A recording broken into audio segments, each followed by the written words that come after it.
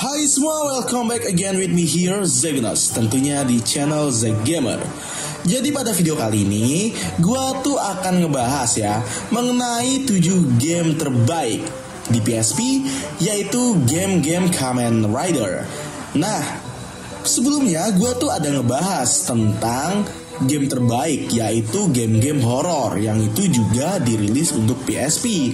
Jadi kalau kalian belum nonton videonya, kalian bisa langsung aja klik linknya di deskripsi ya cuy. Nah, sekarang gua akan segera membahas pembahasan mengenai 7 game terbaik di PSP yaitu game-game Kamen Rider. Sebelum masuk ke pembahasannya, mari kita tonton intronya terlebih dahulu ya cuy.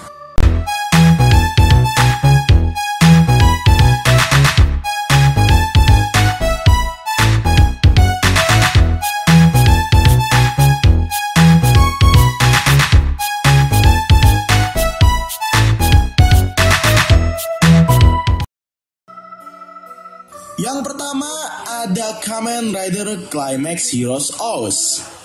Jadi Kamen Rider Climax Heroes OS itu adalah game ketiga dari series game Kamen Rider Climax Heroes. Yang di mana untuk game Climax Heroes yang pertama tuh dirilis di PS2 aja. Sedangkan series kedua yaitu Kamen Rider Climax Heroes W itu tuh dirilis untuk Nintendo Wii. Nah pada video kali ini gua tuh cuman bahas untuk game PSP-nya aja ya cuy. Yang gamenya tuh diawali dengan game Kamen Rider Climax Heroes OS.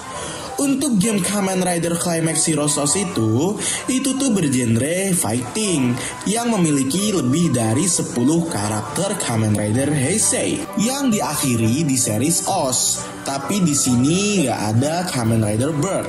Nah, untuk game ini sendiri itu tuh punya dua mode. Yang pertama itu ada mode fighting biasa. Dan yang kedua, itu tuh ada mode yang di situ mirip sama game third person, tapi nggak open world. Nah, untuk special form atau special Kamen Rider yang ada di game ini, itu tuh ada mode Tatoba yang matanya ungu kerasukan form Putotira.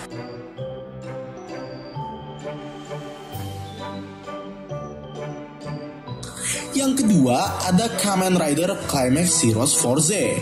Nah, untuk game ini sendiri, itu tuh adalah series keempat dari game Kamen Rider Climax Series.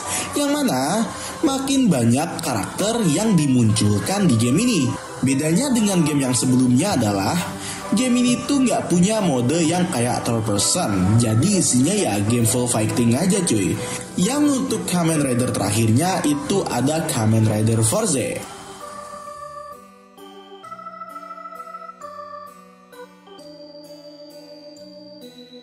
Yang ketiga ada Kamen Rider Super Climax Heroes. Jadi untuk game ini, ini tuh adalah game ke-6 dari series game Kamen Rider Climax Heroes dan juga series yang terakhir. Untuk game ini, itu tuh hampir semua secondary rider, third rider, serta extra rider itu tuh dimunculin. Kayak Kamen Rider G3X, kemudian berbagai mirror rider yang ada di game Kamen Rider, kemudian berbagai mirror rider yang ada di Kamen Rider Yuki series, lalu semua Kamen Rider dari series Kamen Rider Blade juga ada. Bahkan untuk Kamen Rider Ixa itu tuh juga punya dua mode, yang matanya kebuka sama yang matanya ketutup. Dan untuk Kamen Rider Daburu itu tuh punya form yang mereka misah. Jadi Joker-Joker dan juga Cyclone-Cyclone. Yang tentunya ini game tuh lebih keren daripada game pendahulunya. Dan juga jadi game terakhir untuk series Kamen Rider Climax Heroes. Nah, untuk game ini sendiri, itu tuh storynya tuh berfokus sama Kamen Rider Wizard. Dan untuk Kamen Rider Wizard sendiri, itu tuh dia punya form terakhir yang cuman dua aja cuy. Yaitu Flame Dragon sama Hurricane Dragon. Dan gak ada form terakhir yang lain, jadi cuman itu doang. Dan di game ini juga gak ada Kamen Rider Beast. Tapi meski begitu, game ini tuh tetap jadi game penutup terbaik untuk Kamen Rider Climax Hero Series.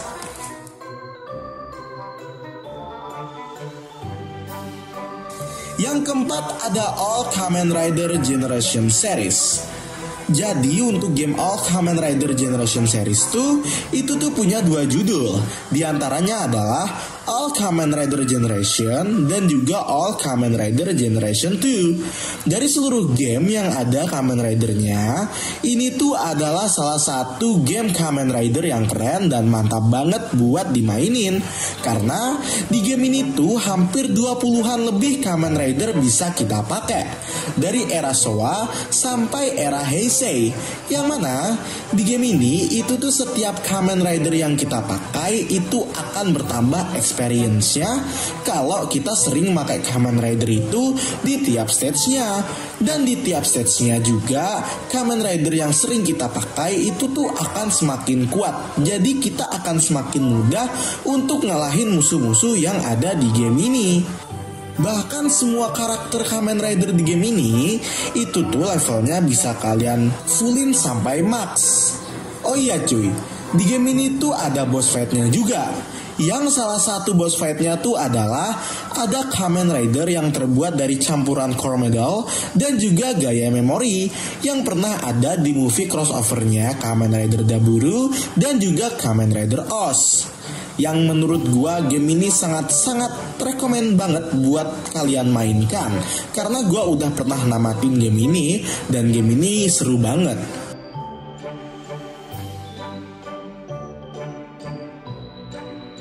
Yang kelima ada Lost Heroes. Nah, sebenarnya ini tuh bukan cuma game Kamen Rider ya, tapi game ini tuh nyampur. Ada Ultraman, ada Gundam juga. Dan kenapa bisa nyampur? Itu karena lisensi game Kamen Rider, Gundam, dan juga Ultraman itu tuh juga dipegang sama Ban Presto. Oh ya, gue ceritain ya pengalaman gue mainin game ini di PSP. Jadi, gue tuh suka banget sama lagu opening dari game ini. Pas gue mainin game ini di PSP, gue tuh nggak pernah skip opening lagunya. Dan sampai sekarang, kalau misalkan gue nginget game ini, itu tuh langsung jadi earworm atau gue langsung keinget terngiang-ngiang sama lagu openingnya yang keren banget cuy. Kalau kalian penasaran, kalian bisa cari aja di YouTube ya. Kalau gue taruh di video ini, nanti video ini bisa kena copyright. Nah, kita balik lagi bahas game ini ya cuy. Untuk game ini sendiri itu tuh bergenre RPG dan juga storynya sendiri menceritakan tentang beberapa karakter Kamen Rider, Ultraman, dan juga Gundam yang masuk ke dungeon atau Dungeon untuk mengalahkan para musuh-musuh yang ada di Dungeon tersebut. Untuk bahasa dari gamenya ini itu tuh pakai bahasa Jepang cuy. Jadi pas kalian mainin game ini bisa jadi kalian tuh agak-agak kerepotan karena memang ini game RPG gitu. Game RPG terus pakai bahasa Jepang. Jadi susah banget. Kecuali kalian orang Jepang atau kalian bisa bahasa Jepang. Ya mungkin akan dipermudah mainin game ini.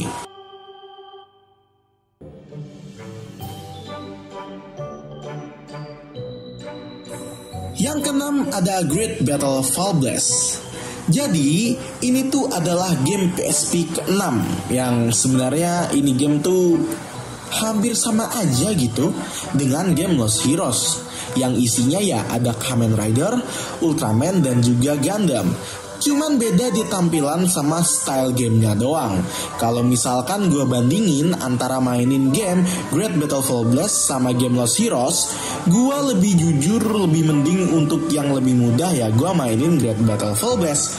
Tapi kalau mau dengerin lagu openingnya, gue lebih enak dengerin openingnya game Lost Heroes. Karena enak didengerin cuy.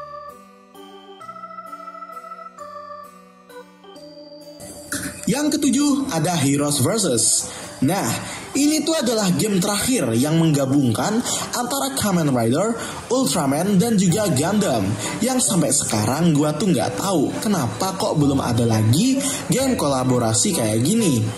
Yang menurut gua kalau ada game kolaborasi kayak gini dan dirilis untuk PC, Nintendo Switch, PS4 atau PS5 bahkan menurut gua akan lebih rame dan lebih keren gitu ya kan? Nah, Game ini tuh sebenarnya adalah game 3D fighting yang hampir sama aja dengan game Kamen Rider Climax Hero Series. Cuman bedanya karakternya tuh nggak terlalu banyak dan ini tuh karakternya ya cibi-cibi gitu jadi imut-imut karakternya cuy. Di antara semua game Kamen Rider yang itu nyampur-nyampur ada Ultraman sama Gundamnya.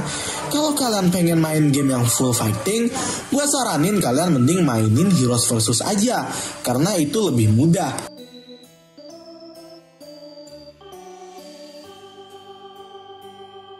So itu dia 7 game Kamen Rider terbaik yang ada di PSP yang patut untuk kalian mainin. Jika video ini bermanfaat, kalian tuh bisa subscribe channel ini agar gue bisa terus bikin konten menarik untuk kalian semua. Dan terima kasih sudah nonton video ini dari awal sampai habis ya. Gue Zegenos dan selamat datang di channel The Gamer.